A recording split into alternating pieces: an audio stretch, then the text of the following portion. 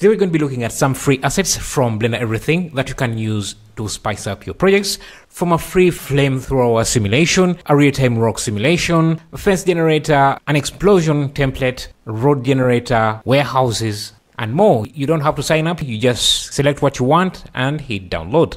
If you need a magazine for your project, this is a good template with different parameters. You can change the number of pages. You can even change the images and scale the size to make sure the pages fit. This offset allows you to open uh, the page directly like this. You can make this really short uh, magazine or you can make it really wide and it will still work it will still open here is a template for a railroad generator you have bolts can change the width of the rail can adjust the position of the bolts just like that. You can increase the sample count of uh, the uh, those rods and uh, whatever uh, the bolts and you get that. If you're trying to create a road generator in geometry nodes you can use this as a starting file or as a template. You can see how the road looks. It has uh, the road itself uh, the banking and everything else. How much this banking is we can change the number of subdivisions on the Y, the number of subdivision on the X, and uh, you can see here we have the roadside angle, which allows me to change whether this goes up or whether this goes down. Just uh, like that. There is uh, the displacement roadside uh, that you can adjust to have more displacement or less displacement. So this can be grass or rock, or you can have both by just duplicating this frame and making one grass or making the other rocks. And I, so I can change the seed, I can change the density, I can change uh, the distribution from the scale I, I, can change so you can see I can even change how close this is the grass starts from the road itself uh, by adjusting uh, I think this parameter here. So uh, here we have the road markings here. You can have more you can have less. Here's a template for a flame thrower. We have a character that's moving around and just shooting flames into the scene. You can switch out the character. This is a Mixamo character. To make it easy for you I've set the capture system to replay so that you can replay and adjust the settings as you want. The emission of the smoke is based off uh, this mesh emitter which emits particles. So if you want the smoke to be shooting out faster, you can go to the particle system and increase the normal velocity. And you can adjust these parameters to add more smoke or add more fire. I can adjust these parameters until I get uh, what I want. Can see I can reduce the amount of fire I want by just changing these shaders. But uh, if you have it to one, you will get more detailed smoke and you can see that we are getting more detail out of this.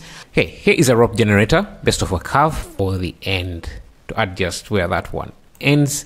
And now you can change the alignment of these by just adjusting uh, the align rotation here. I'll be making a more built up version on on my Patreon, but uh, you can get this for free. Uh, other things you can change the number of turns you have here, so that's that would be under this parameter here. You can build on top of this, create a different type of rock, a different type of rope, and uh, remember this is all editable. So I can uh, come in here, subdivide this, uh, so that this looks like it's on top of the other, and I can duplicate this delete everything and come in here and uh, draw on surface so I can draw another rope that is going over uh, this one. You if you need steps for your project i have some destroyed steps here uh, that you can generate using geometry nodes. Uh, you can expose parameters like how many steps you want by increasing the duplicate elements here uh, value. So I can make this 2 I can make this 3 I can make it more. And uh, you can see the damage is random and uh, you have each step you can come here and change these parameters. So each so that the damage is randomized and I have unique uh, values. Uh, you can uh, adjust a lot of parameters. You can see how the damage is added. I can increase the resolution of the damage by increasing what would that be? The voxel detail here maybe to 16 and uh, you can see I get even more damage I can increase this to maybe 32 it will be a little bit slow but uh, it's going to give me uh, more detailed uh, damage. I can uh, reduce the number of breaks in the steps uh, by just reducing the pro probability here. Maybe let me put it to three, and that should do that. If you need to set up an explosion, here is one you can start with. It's a simple setup using a particle system and a smoke simulation uh, setup. Uh, you can see this is an EEVEE render, uh, but uh, it also does look good in Cycles. You can change the details, you can change uh, the subdivisions uh, or the resolution.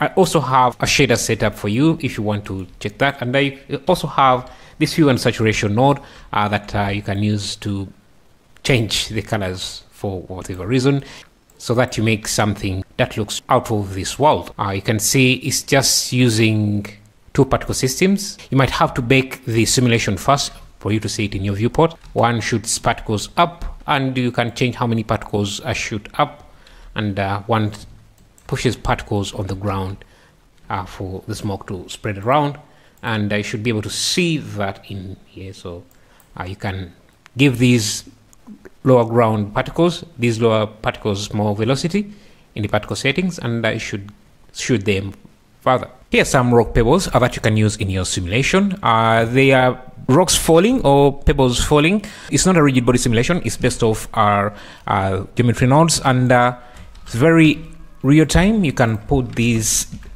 anywhere on your rock surface and just rotate this and you can see that uh, they will carry on on any direction you put them. And uh, if you want you can switch them out for something else. I can switch out the rocks. Obviously the the rocks i'm providing here are just basic rocks. Here is a fence generator that is built using geometry nodes.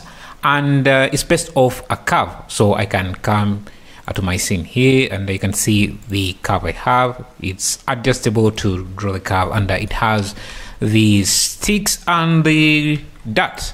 If you're creating a bridge in Geometry Nodes, here's a starter file with different parts like the support columns, the bridge slab, and the side guardrails. Everything is procedural. You can change the height, width, and uh, the, the, different parameters.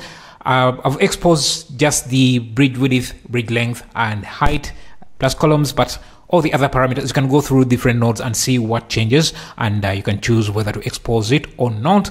And uh, you can also just build on top of this to make this your own. Project files are on blendereverything.com here's a free startup project uh, or template you can use. These are two buildings. Uh, one is the main collection uh, the other one is just an instance uh, of that same collection a large warehouse building uh, there, there are doors, uh, but these are very simple, simple meshes uh, extruded, and texturing should be very easy to to do. And yeah, you can add as much details as you want. Okay, that's it for now. Subscribe, like for more. More assets are coming on Blender Everything, so bookmark it, and uh, I'll see you in the next time.